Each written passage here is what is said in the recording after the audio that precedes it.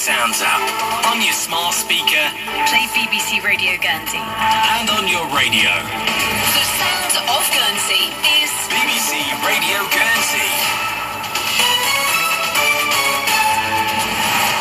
That's me with the latest for the Channel Islands, I'm Kate Jennings. You can now see a full list of who you can vote for at this year's Jersey election. It's a new style election this year where you will vote for deputies in your constituency and no senators. You'll also vote for your parish constable. The list of all the candidates is on the vote.je website.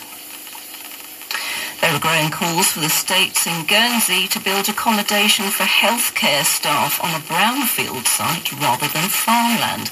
Seven deputies have signed the first request.